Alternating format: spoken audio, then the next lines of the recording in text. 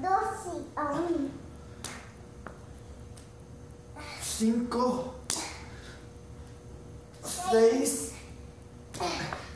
Siete.